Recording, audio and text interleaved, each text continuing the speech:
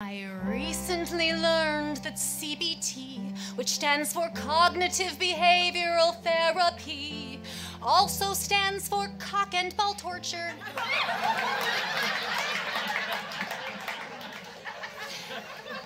and I'm replaying a lot of conversations.